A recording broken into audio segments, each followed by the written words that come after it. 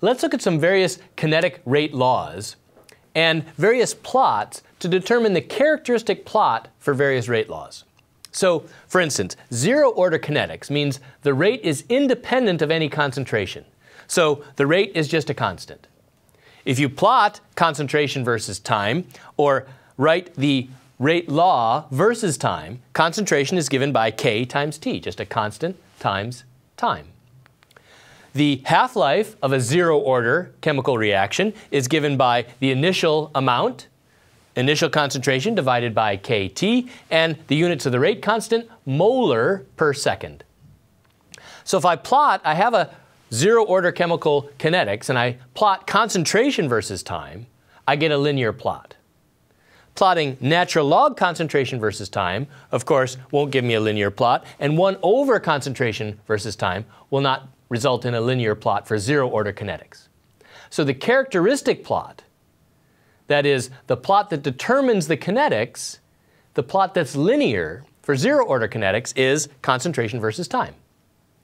Let's look at first-order kinetics. First-order kinetics, the rate is k times a to the first power. And if I write that versus time, that gives me a exponential. It's the concentration is e to the minus kt versus time.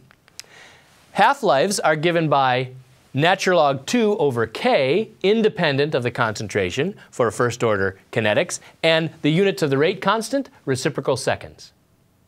I can look at three plots for the concentration versus time, first order kinetics, natural log concentration versus time for first order kinetics, that is a linear plot.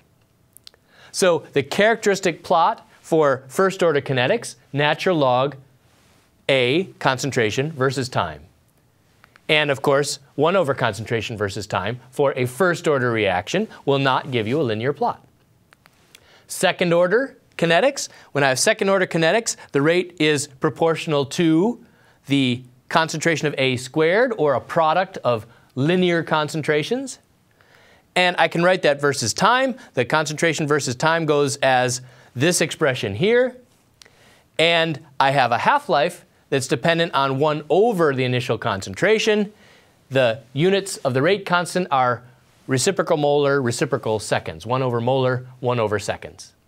When we look at the three plots, concentration versus time for a second order, and now you can see they're very similar, concentration versus time for first and second order plots. So you can't determine whether it's first or second order very easily from a concentration versus time plot.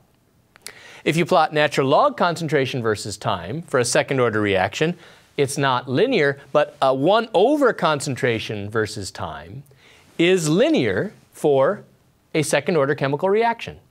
So when you find the linear plot, you determine the kinetics. So that's a summary of our characteristic kinetic plots and the parameters for zero order, first order, and second order kinetics.